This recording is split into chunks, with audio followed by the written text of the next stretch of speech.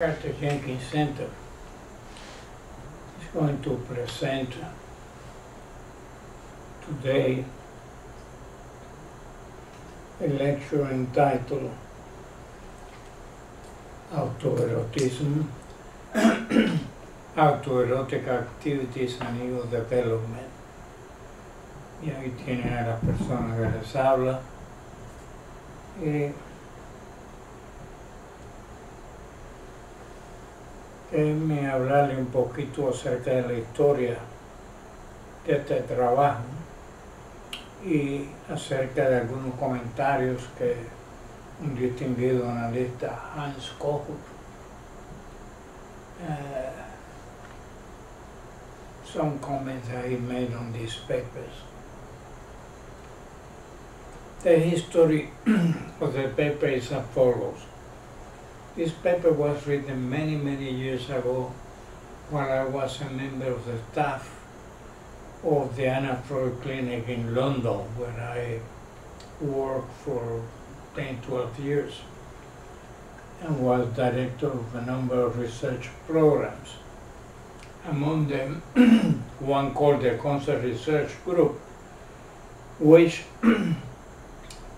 did a lot of scholastic work trying to follow the, the historical development of basic psychoanalytic concept, also Freud's life. Because given that he modified them and as his uh, understanding grew and never took the trouble to correct the previous statements, unless one looks at these different basic concepts from a historical point of view, a lot of mistakes can be made and misunderstood because he may have modified the view later on, but it never restated it properly. So it is part of uh, scholastic research, this paper that I was doing in terms of these basic psychoanalytic concepts, as I said, by the Concept Research Group of the Hampstead Clinic that produced four volumes of basic psychoanalytic concepts of the, of the library called the Hampstead Clinic Library, that is Anna Freud's library.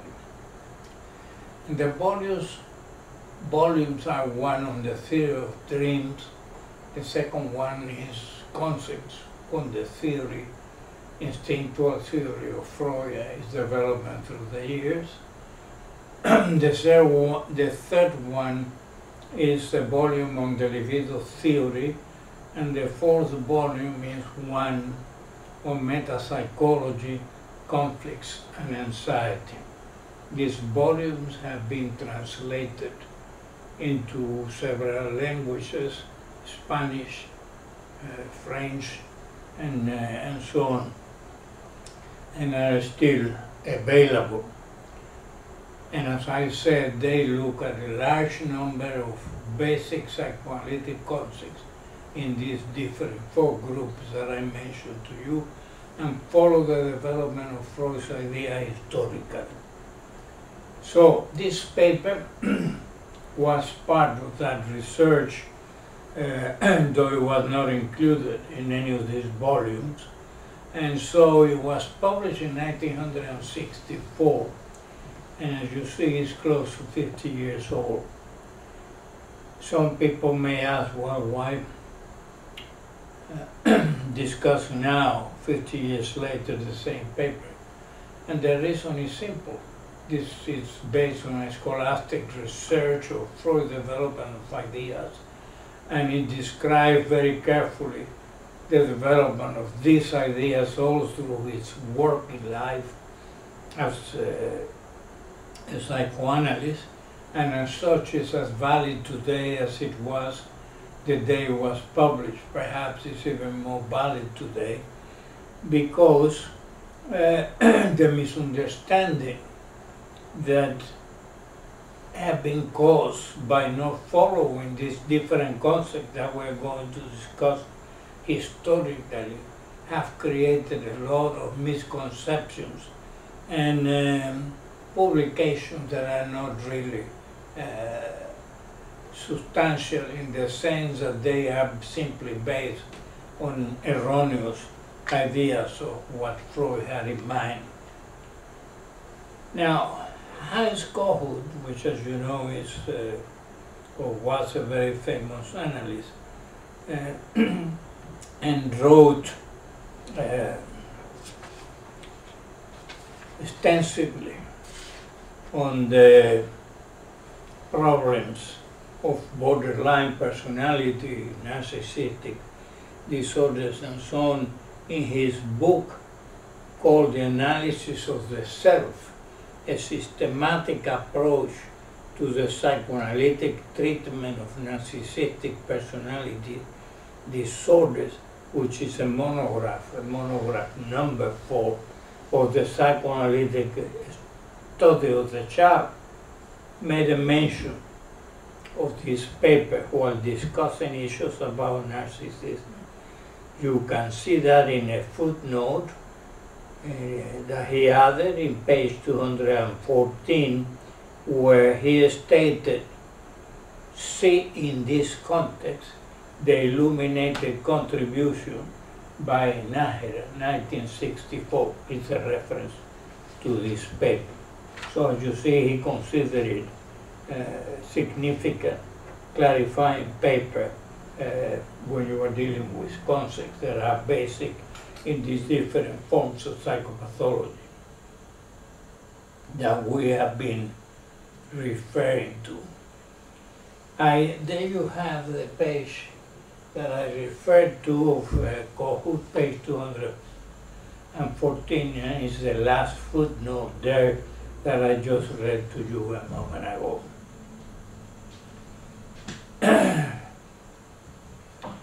so, uh, we should start by making comments on how little attention these concepts, basically as they are, have received.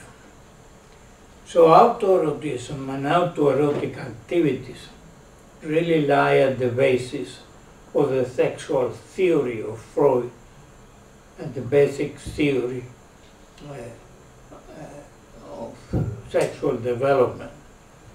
They are important elements in the discharge of tensions aroused by the sexual drives as the component instinct all through development and are the very first manifestations of sexual activity out of which adult sexuality will develop as development proceeds.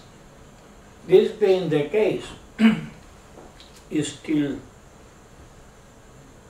surprising that not enough attention has been paid to the concept of autoerotism. That is something I said 50 years ago. That statement is valid today, unfortunately. As a result of this relative neglect, there is a great deal of confusion and misunderstanding, and sometimes even a failure to grasp many of its implications. In, in turn, this misunderstanding has led to reformulations, new theoretical propositions, and even more confusion frequently. A revision of some aspect of the concept of autoerotism inevitably leads us into other areas of confusion among analysts, but I believe some light is thrown on them once the phenomenon of autoerotism is clearly defined and properly placed among Freud's other theoretical formulations through the many years of his professional career. One such area of enormous confusion surprisingly relates to the term object and the many uses that Freud made of it. Though many factors are responsible for some of the misunderstanding, two of them are perhaps of particular relevance and deserve to be mentioned here.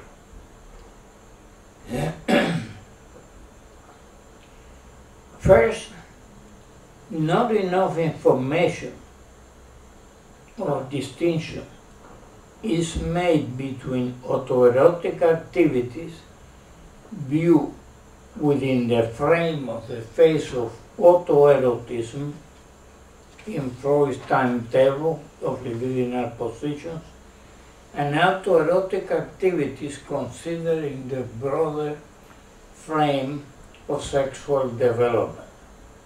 Long after autoerotism as a phase in libidinal development has been left behind.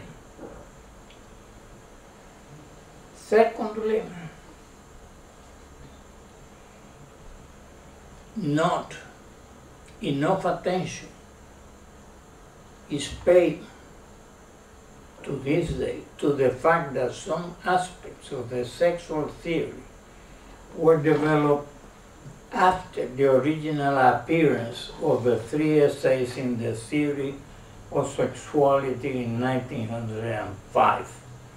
Freud, as you know, made many additions to these essays, and in some cases that was done many years later. That is, when further work in other areas had thrown new light on certain aspects of the original formulations.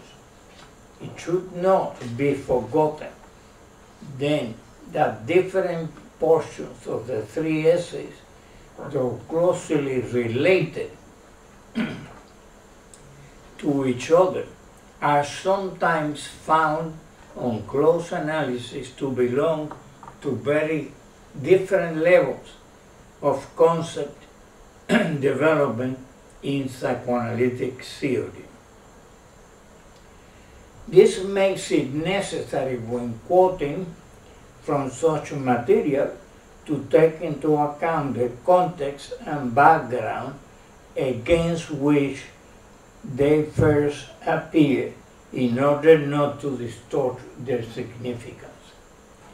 The implications of autoerotic phenomena for understanding and developing theoretical formulations in relation to the early stage of ego development should be obvious a clarification of the meaning of autoerotic phenomena will also throw some light on the theory of narcissism and obviously then in all that follows in terms of the personality disorder considerations, etc. I am inclined to think that it is not possible to deal with the questions inherent in this theory of narcissism until the ground has been clear of these misunderstandings of Freud's assumptions in relation to autoerotism and the use of the term object, both in relation to autoerotic phenomena and in a more general sense. Very many of the alleged contradictions in the area of narcissism either disappear or fall into proper place and proper perspective once the difficulties due to misconception about autoerotism and autoerotic activities are overcome. Finally, I want to call attention to and will try to distinguish three different types or levels of autoerotism and autoerotic phenomena, which can be seen at three different stages in the development of the personality. And to keep this in mind is of an importance extraordinary importance, really. They are, of course, closely connected with each other, these three stages, although the phenomena remains basically the same, there are, on the other hand, important differences among these three types of level of autoerotic manifestations. I think these differences were implicit in Freud's mind when he established the timetable of autoerotism, primary narcissism, object relationships, and secondary narcissism. I hope to show that he explicitly distinguished the phase of autoerotism and the autoerotic activities then present further that these first autoerotic activities do not have quite the same organization and complexity as those present in the next stage of his timetable, that is primary narcissism. So we're talking about the difference that exists between autoerotic activities in the face of autoerotism and autoerotic activities in the face of primary narcissism. Let's talk about the concept of uh,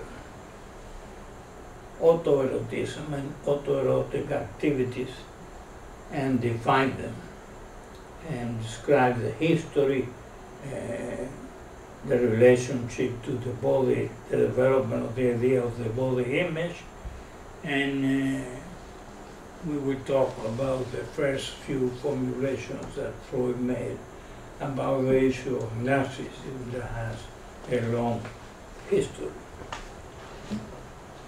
So, autoerotism is a term used by Freud to describe a phase in libidinal development, while autoerotic is a term used to describe a specific type of sexual activity and gratification.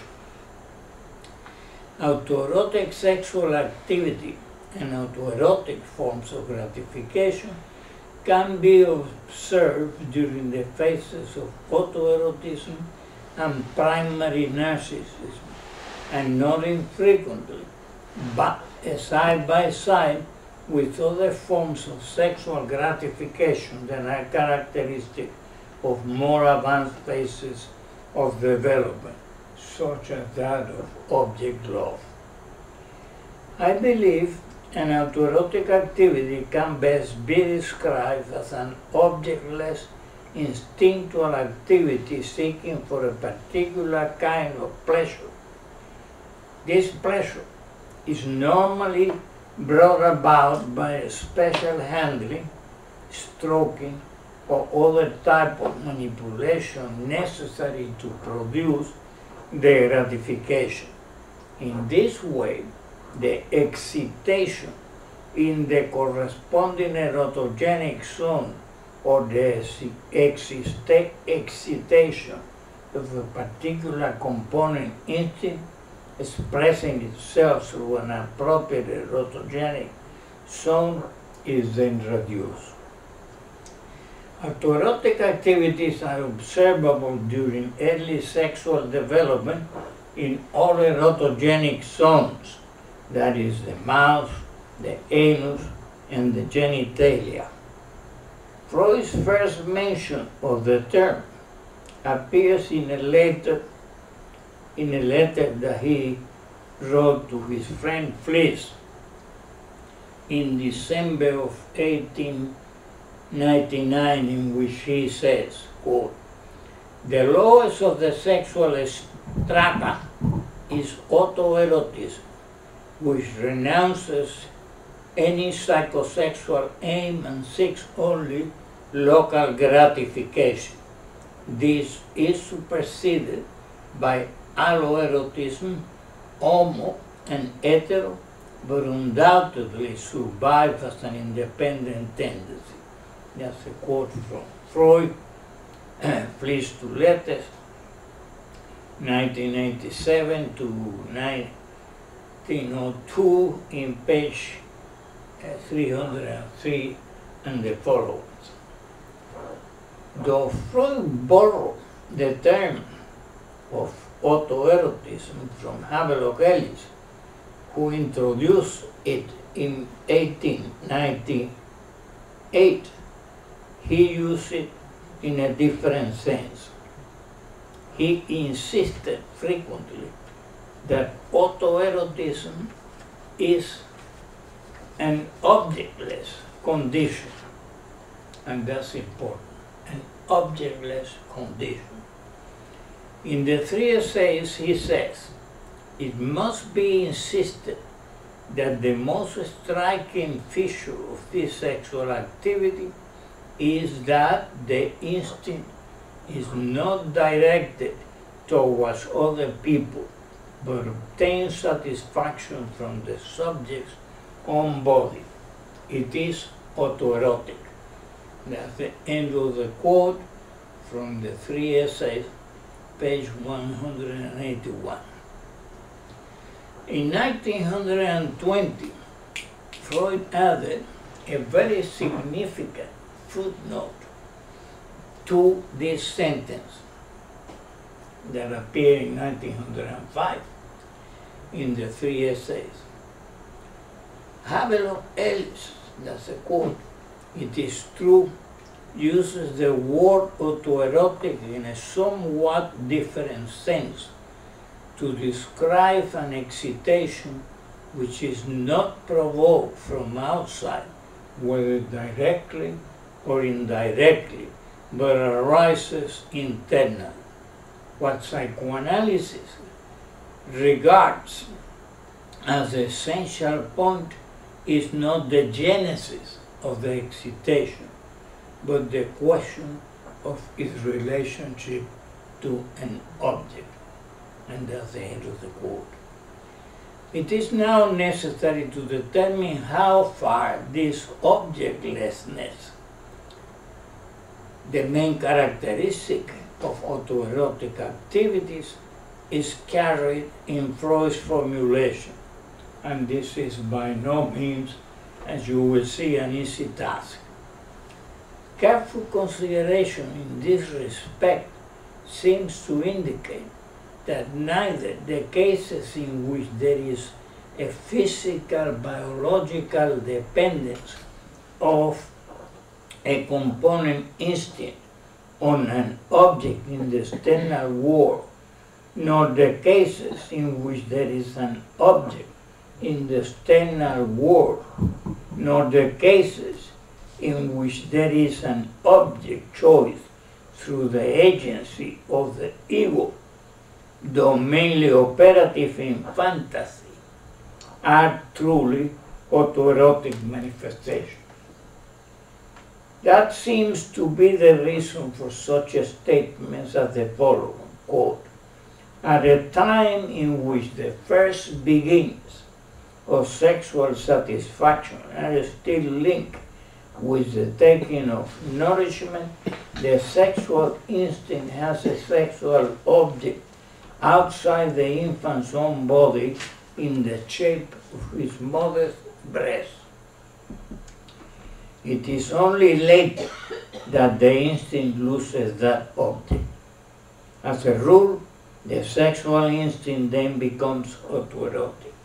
Again, that's a quote, and that's the end of the quote uh, from the three essays of Mill 1905 page 222.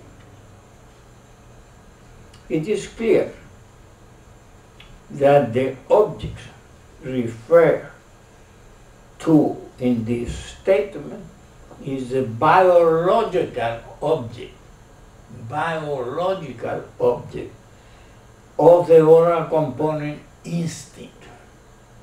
It must be noted that Freud is quite specific in pointing out that the relation here is one between the sexual instinct and its sexual object, and not between the child's ego and its object. quote, the sexual instinct has a sexual object as outside the infant's own body, end of quote. He further stated that it is only later when the instinct loses that object that the sexual instinct becomes autoerotic. From this and many other similar statements, one is forced to conclude the following. Freud thought that the relationship to an object determines whether a given sexual activity is autoerotic or not. This excludes from autoerotic phenomena all cases in which the physical biological relationship of a component instinct to an object still exists and in which gratification is dependent on this relationship. Sucking the mother's breast is consequently not an autoerotic activity, in contrast to sucking one's own finger, which is an autoerotic activity. Similarly, when there already exists a relationship to an object, but on the ego side, even if it is in fantasy, for example, in masturbation during the phallic phase, we cannot speak of pure autoerotic activity, but must consider the phenomenon a composite in which a fantasy has inserted itself into the pure into, into the previously pure autoerotic activity. Freud in 1908 linked fantasies with autoerotism when referring to masturbation. He mentioned that during a period of masturbation, the fantasy was evoked in conjunction with some active behavior for obtaining self-gratification at the height of the fantasy. That's a quote from page 161. A very clearly, a very clear example can be taken from Little Hans. On comments when he said, quote, I put my finger to my widdler, just a little, a, a, little bit, a very little. I saw mommy quite naked in her chemise, and she let me see her widdler. That's a quote from Little Hans in 1909, page 32. In current usage, one would refer to this type of masturbation as an autoerotic activity. Strictly speaking, however, one could not call this autoerotic, since by now the activity is a highly complex composite of which the relationship to an object in, in fantasy is an important part. Thus, the cases in which there is a relationship through the agency of the ego with an object are not truly autoerotic manifestations either. Strictly speaking, a true auto, autoerotic activity is taking place only in those cases in which the object of the component instinct is the subject's own body or a part of it. Now let's look at the question of the development of the body image. During this early period in the development of psychoanalytic theory, Freud had not yet asked the question whether the child had any psychological awareness of his own body. This question of self-awareness was taken into account a few years later, starting around 1909 with the introduction of the concept of narcissism as, in, as an intermediary libidinal position on the way from autoerotism as the first such libidinal position to that of object love. The autoerotic activities are now seen in a new and psychologically more meaningful context. And now we should talk a little bit about the formulation of narcissism some more. Freud said the following in this uh, context, given that the autoerotic activities were now seen in a new and psychologically much more meaningful context. Quote, recent investigations, that is Freud 1910, page 100, have directed our attention to a stage in the development of the libido which it passes through on the way from autoerotism to object love. This stage has been given the name of narcissism. What happens is this. There comes a time in the development of the individual in which he unifies his sexual instincts, which have hitherto been engaged in autoerotic activities, in order to obtain a love object and he begins by taking himself, his own body, as his love object, and only subsequently proceeds from this to the choice of some person other than himself as an object. And that's the end of the quote, which appeared in 1911 in page 60 and the following. Now, during the phase of autoerotism, each component instinct that is aroused is seeking gratification quite independently of any other.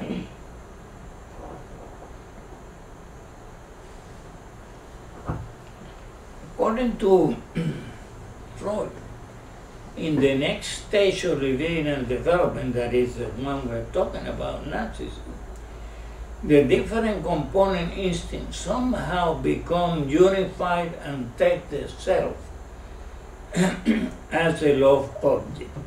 Consequently, the type of sexual gratification during the phase of primary narcissism is autoerotic as well the object being one's own body and not an external one as in the following phase of object love. One's own body as an object is now psychologically meaningful experience owing to the degree of development we assume to have been reached at the stage of the narcissistic libidinal position.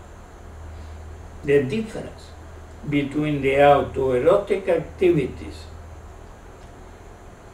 of the phase of primary narcissism and those of autoerotism, as I said, is that those corresponding to primary narcissism are less close to the biological realm of phenomena than those belonging to the phase of autoerotism, in which there is no awareness whatsoever of the self, as is the case now in primary narcissism. As Freud said, quote, the ego cannot exist in the individual from the start. The ego has to be developed. The Autoerotic instincts, however, are there from the very first. So there must be something added to autoerotism, a new psychical action in order to bring about narcissism. End of quote. And that's a quote from 1914, page 76, 77, sorry. Furthermore, it must be noted that Freud considered it important clinically that the regression in dementia precox extends not merely to narcissism, as in paranoia, but to a complete abandonment of object love. And a return to infantile autoerotism. The disposition and fixation point must therefore be situated back there in paranoia and must lie somewhere at the beginning of the course of development from autoerotism to object love. Again, that's a quote from 1911. It may have become clear by now that the first account of the phenomena we are concerned with here, mostly of a descriptive nature, are mostly of a descriptive nature and were given by Freud against the background of his theory of infantile sexuality as formulated in his three essays of 1905. Considerations pertinent to ego development is possible relationship to and mutual influence on autoerotic phenomena were not so explicitly in the foreground at this stage. Ego psychology, as we know it today, was not developed until very many years later.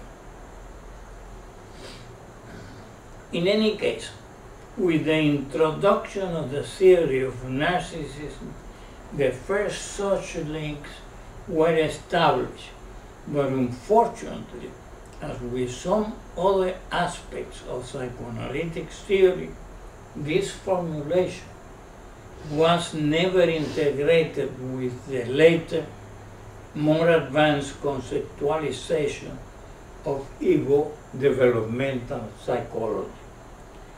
A modest attempt in that direction is going to be made in the last section of this article. It may be worthwhile at this point to remark on how some analysts after Freud have added to the confusion by a man opinion, misinterpreting some aspects of Freud's formulations. The statement that, quote, the sexual instinct has a sexual object outside the infant's own body in the shape of the mother breast has not infrequently been taken to imply a psychological relationship of the type that only the developed ego is capable of. It seems obvious that what Freud had in mind here is that the sexual instinct and not the child's ego finds an object. Furthermore, this is a ready-made biological object for the particular instinct characteristic of the species. This will be the biological prototype of the findings of an object later on in development by the ego. These biological prototypes should not surprise anybody who has noted similar statements made by Freud in the three essays. For example, in two footnotes that he added in 1924, that is 19 years after the publication of the three essays, he mentions Abraham paper of 1924 pointing out how the anus is developed from the embryonic blastopore, a fact which seems like a biological prototype of psychosexual development. Another one refers to the phallic phase having, according to Abraham, in biologic, uh, its biological prototype in the embryo's undifferentiated genital disposition, which is the same for both, both, both sexes.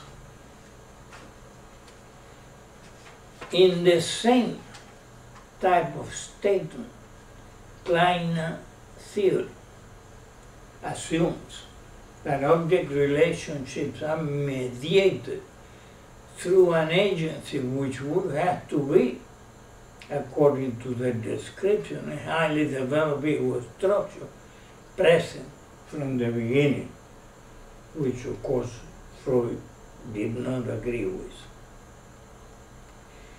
Now Freud's uh, final views are interesting uh, and can be clearly seen in the following statement that appear in the outline of psychoanalysis.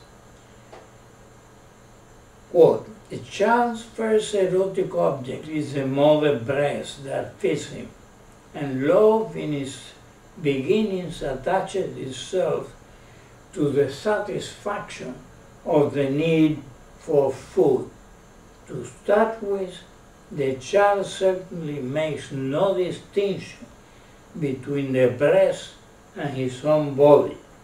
When the breast has to be separated from his body and shifted to the outside because he so often finds it absent, it carries with it now that it is an object, part of the original narcissistic cathexis.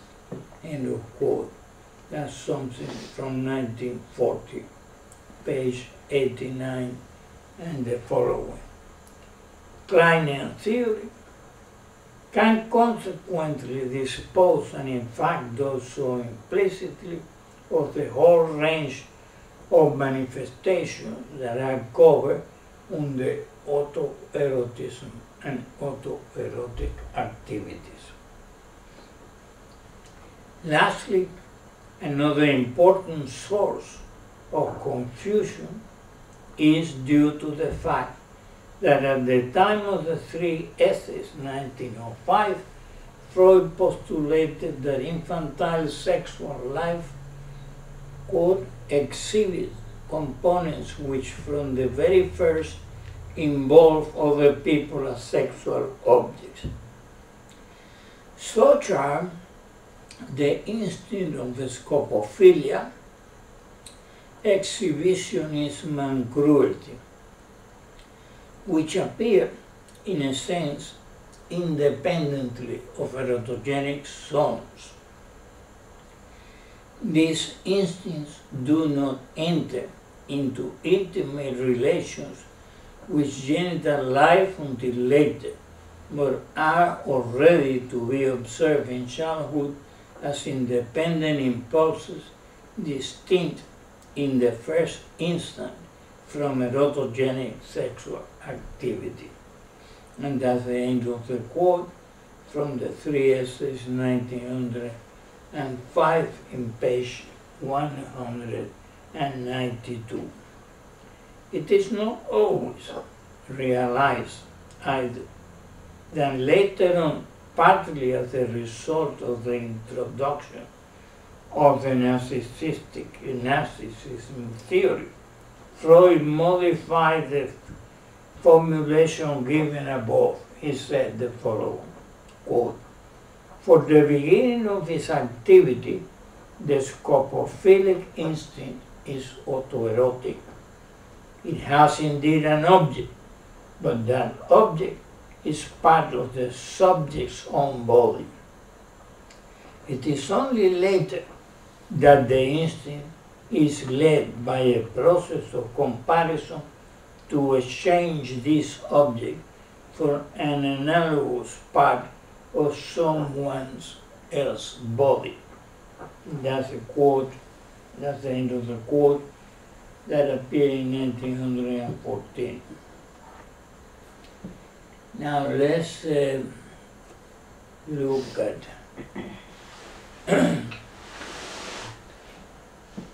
the different issues involved in autoerotism, pride, narcissism, and object relations in the context of ego development.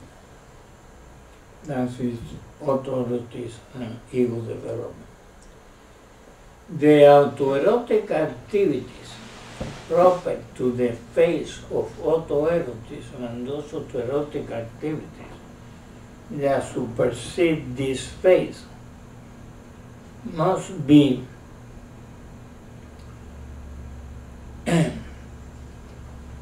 considered against the background given by the stage of ego development that has been reached. In accordance with my introduction or my introductory premises, I shall describe three different types of autoerotism and autoerotic phenomena which can be observed at these three different stages in the development of the person, personality. The first type, the phase of autoerotism. The phenomena described under this heading correspond in Freud timetable of libidinal development to the phase of autoerotism. At the very beginning, the ego as an organized system is not yet present. Though some of the functions that will later be taken over by the ego and form an integral part of its organization are already to be seen. Yet, at this point, they occur as isolated manifestations with little or no correlation between them. Among these are perception and perceptive processes, both of external and internal stimuli, memory impressions that are constantly being formed, feelings of the pleasure, pleasure series, etc.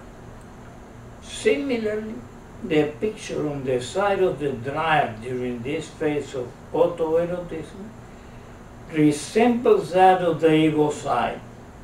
Each component instinct that has already appeared on the scene with each erotogenic zone is on its own.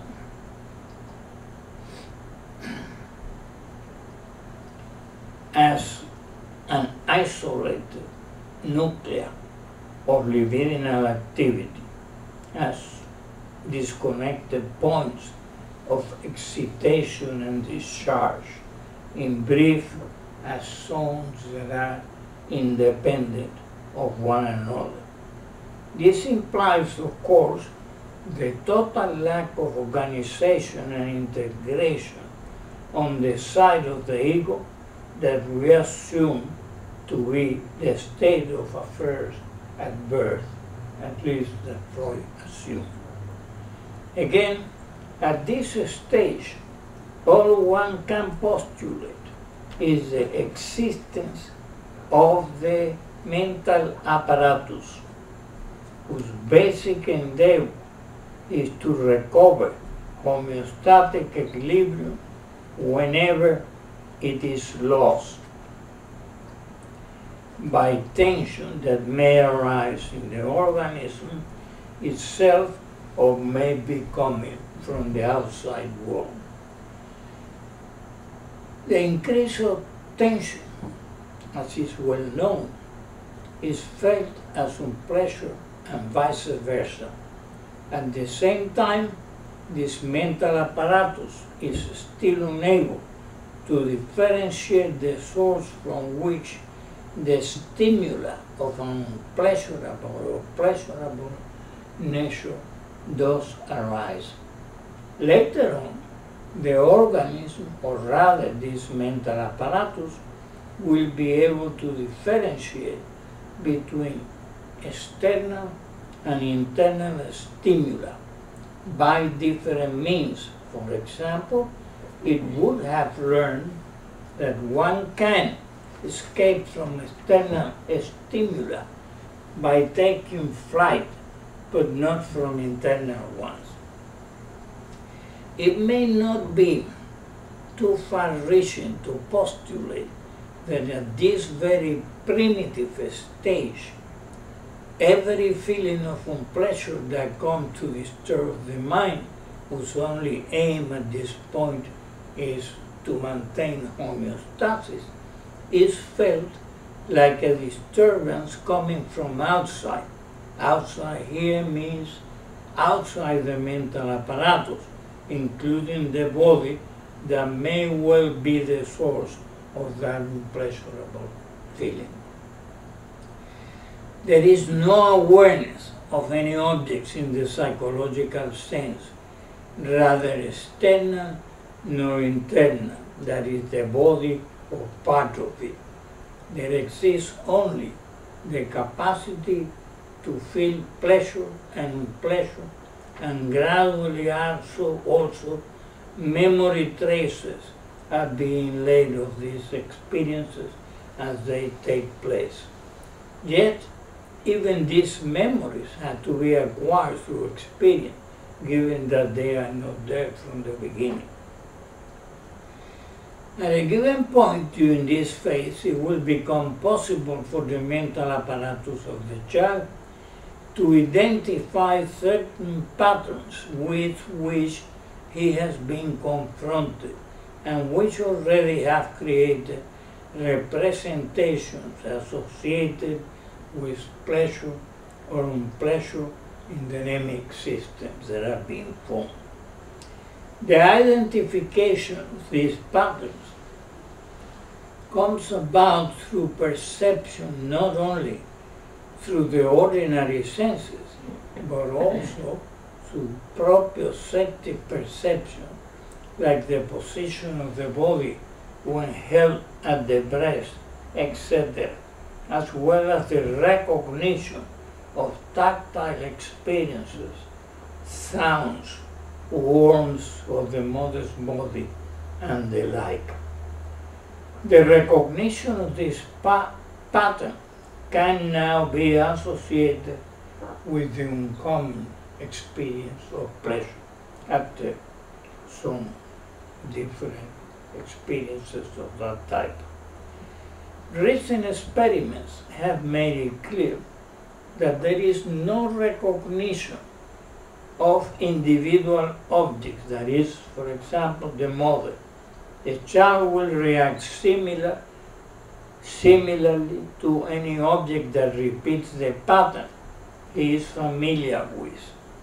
Similarly, the child will react to a mask that contain the patterns that he can recognize, speed and wolf, like a page with three black dots in the right places. At this stage, the child's reactions, functions, and mode of response are closely to the animal being and in the nature of conditioned reflexes. Yet, one can start to see the beginnings of what will later be a response through highly complex psychological ways. At this point, though, they are still primitive and not based on his ability to recognize objects in the psychological sense of recognize objects, either outside his body or in his own body, which later in development will become an object. This mode of response is obviously closer to the reflex phenomena, to typical biological responses. The pause introduced by the activity of the mind is not yet developed, with the exception, presumably, after some experiences of satisfaction, of the possibility of dealing with certain types of tension by means of hallucinatory wish fulfillments. Let's move to the second type, which is the phase of primary narcissism. This second type of autoerotic activity belongs no longer to the phase of autoerotism that I have just described above, but to that of the phase of primary narcissism. The changes that have taken place on the ego side by now make the autoerotic activities appear in a completely different light.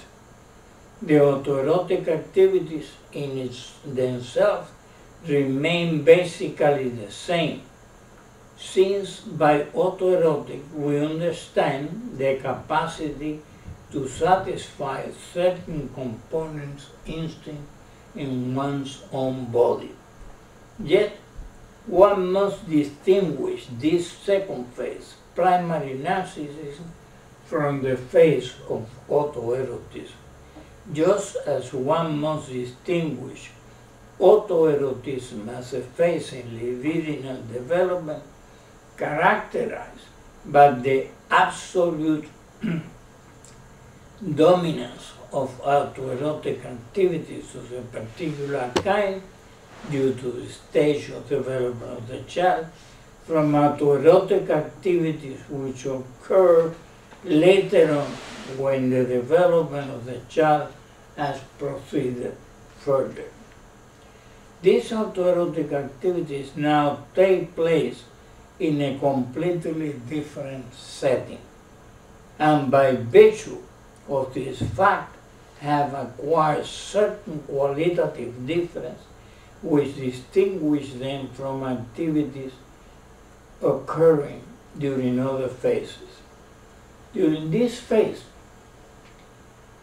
the autoerotic activities no longer occur as isolated manifestation of tension and discharge phenomena taking place anywhere in the body and totally independent of each other.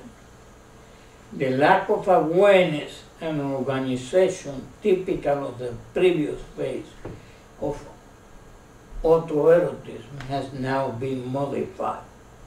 A certain degree of differentiation and structuralization has taken place through the first steps in the formation of the body image.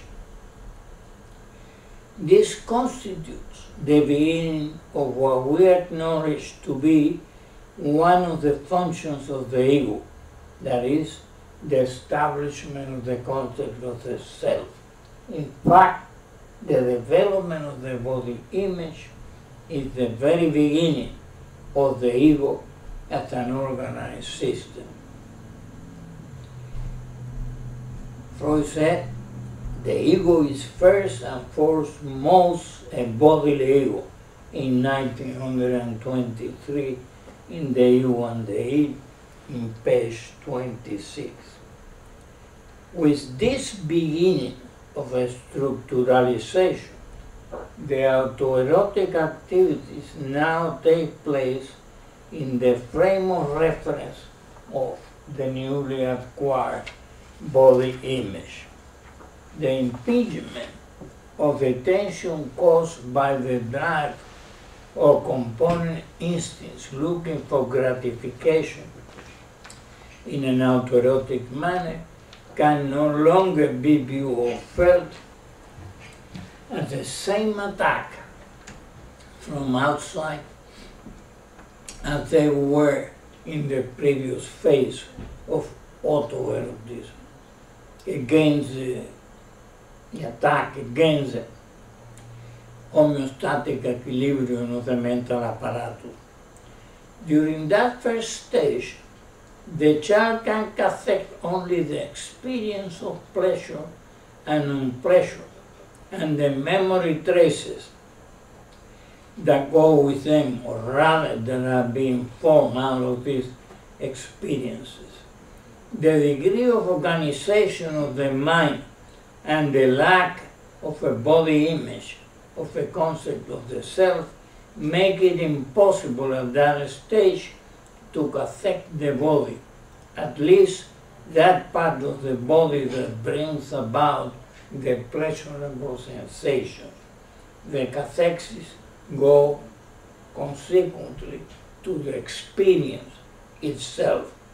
A little later, when the beginning of the concept of the self is present, the part of the body involved in the experience of pleasure can be affected, since it can now be identified by the mental apparatus as part of itself.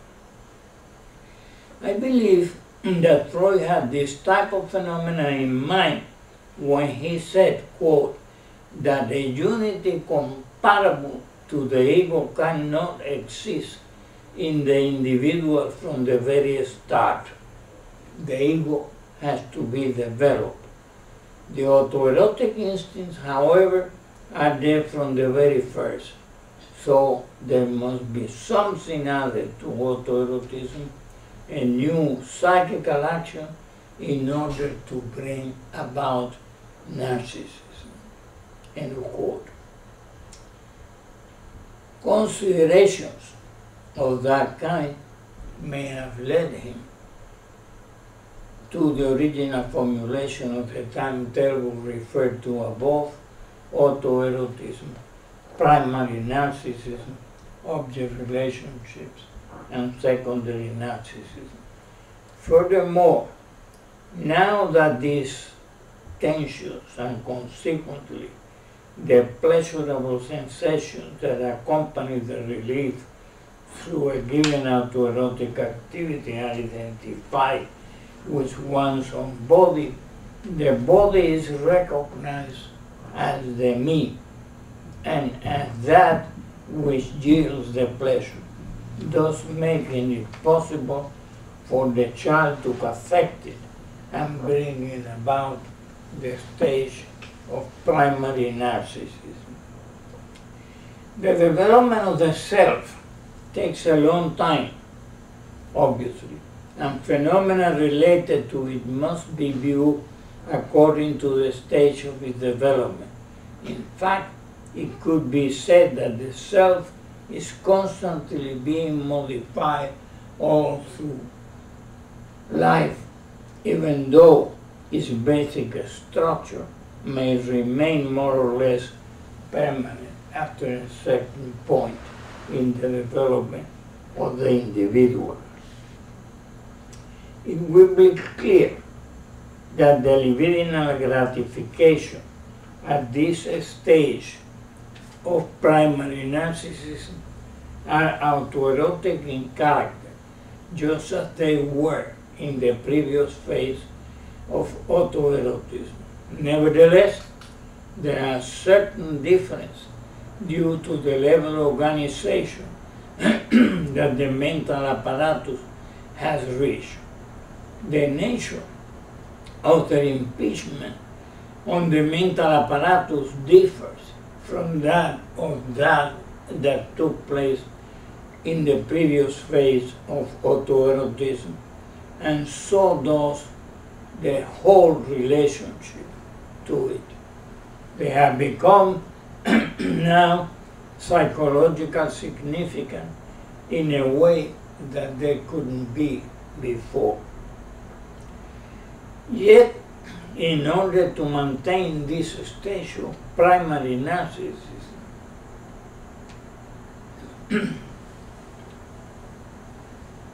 the child is extremely dependent on the external environment. He cannot do it just by himself.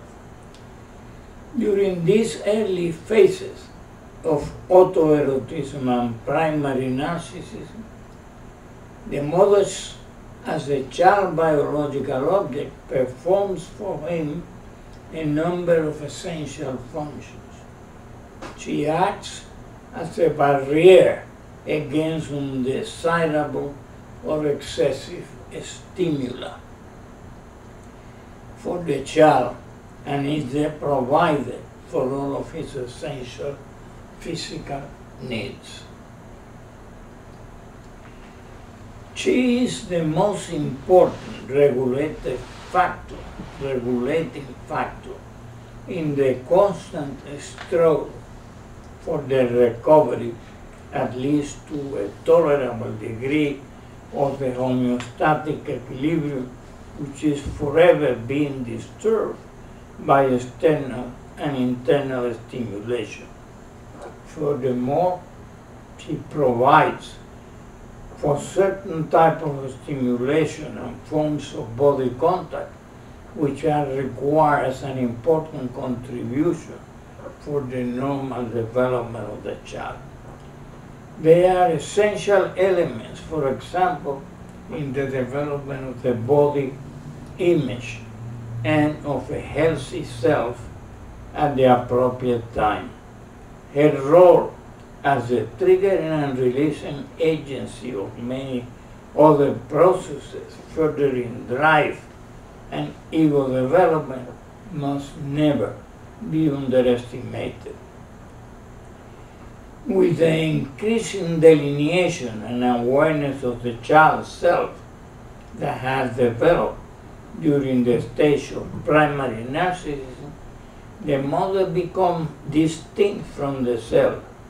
From then onwards, an ever growing psychological awareness of the existence of the mother and her external function developed, drawing with her a large and larger amount of cathexis and interest of the child.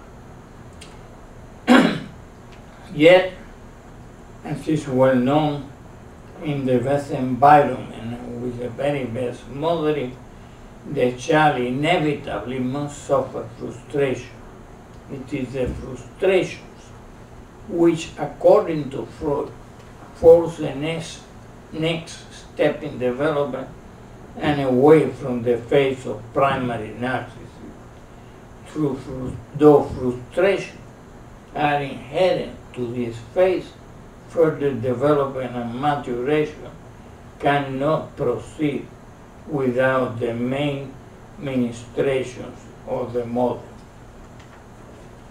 Let's go now to the third type.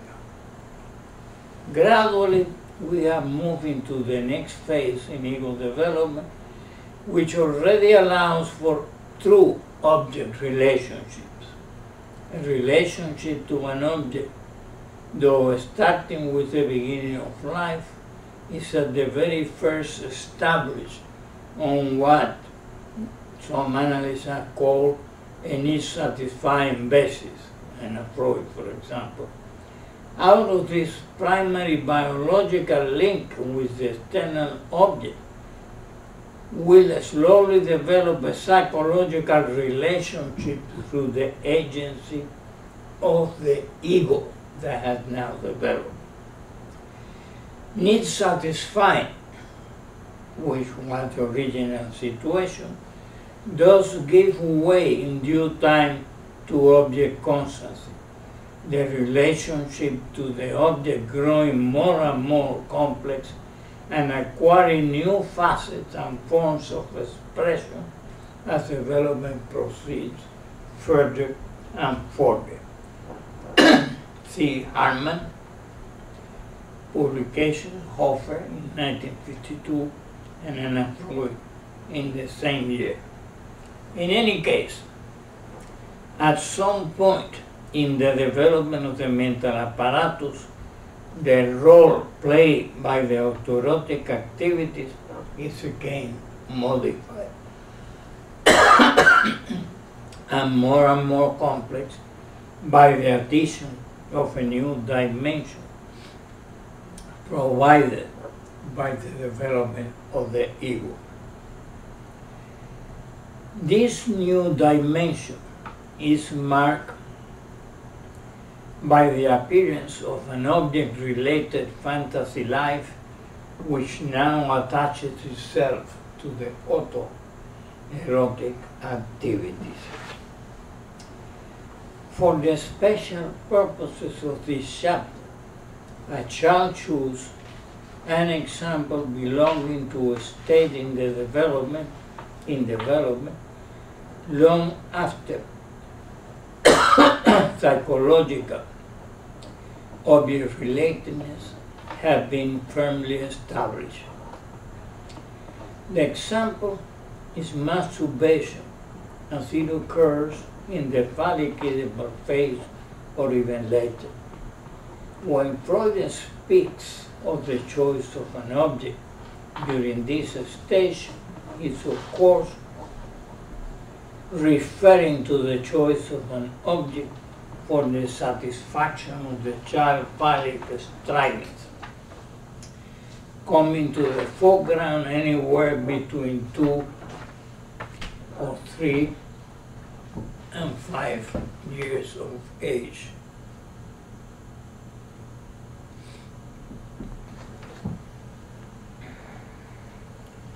But now the satisfaction takes place in fantasy. This can be considered the forerunner of later stages in sexual development, where gratification of the sexual impulses in normal conditions requires a partner to produce the release of tension. Thus Freud said in the three essays, it is in the world of ideas, however, that the choice of an object is accomplished at first, and the sexual life of maturing youth is almost entirely restricted to indulging in fantasies, that is, in ideas that are not destined to be carried into effect. In a footnote that he added in 1920, he continued, the fantasies of the pubertal period have as their starting point the infantile sexual researches that were abandoned in childhood. No doubt, too, they are also present before the end of the latency period. Freud considered a regression to the stage in development in which the object, still in the world of ideas, important for the differential diagnosis between paraphrenic affections and the transference neurosis. In the former, the libido that is liberated by frustration does not remain attached to objects in fantasies, but withdraws on the ego, onto the ego. At the stage in development in which the object is still in the world of ideas, the activities remain fundamentally autoerotic. They do not require the active participation of the object or his body, physically speaking. The gratification comes from one's own body, yet in fantasy, these autoerotic activities are object directed.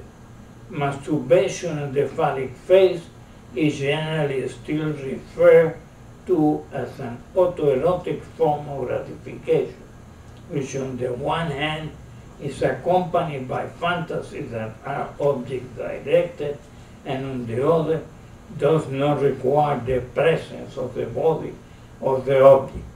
In hysterical fantasies and the relation to bisexuality in 1908, Freud said at that time the masturbatory act in the widest sense of the term was compounded of two parts.